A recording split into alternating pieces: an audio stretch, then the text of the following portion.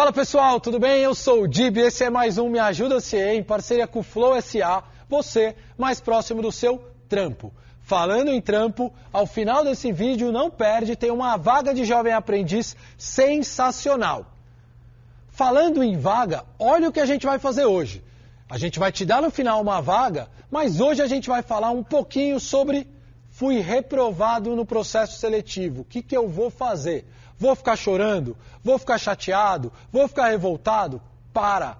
Tá cheio de novas oportunidades por aí e você vai brilhar. Mas a gente só vai brilhar se a gente souber pegar o que aconteceu na reprovação e fazer a gente brilhar no próximo processo. É um pouquinho do que a gente vai falar. Quando a gente é reprovado no processo seletivo, pessoal, tem três passos que são fundamentais a gente seguir. Primeiro passo, chorar? Não, não é sobre isso.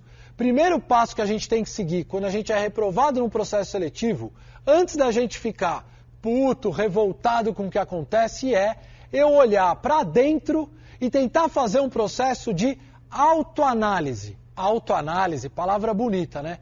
Simplesmente, pessoal, é você, antes de reclamar do processo, olhar e tentar enxergar de uma forma absolutamente desapegada o que, que eu fiz de errado que eu posso melhorar.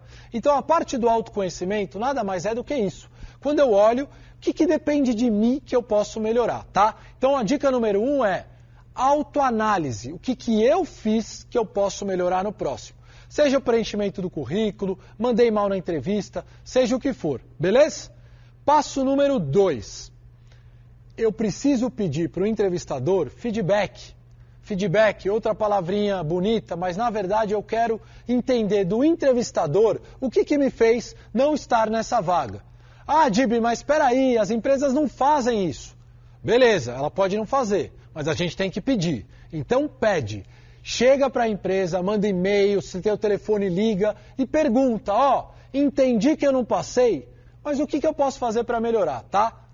Esse é um ponto importante porque a partir disso você não vai cometer os mesmos erros da próxima vez, beleza? Dica número 3.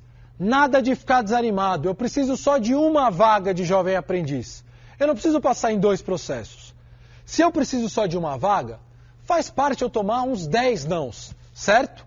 Quanto mais não eu tomar, isso vai me ajudar, se eu cumprir os outros dois passos, a chegar mais próximo da, da oportunidade que a gente vai trabalhar.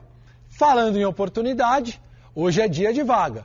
Segue essa vaga de jovem aprendiz que eu garanto que se você seguir esses passos, você vai brilhar. Bora com a gente!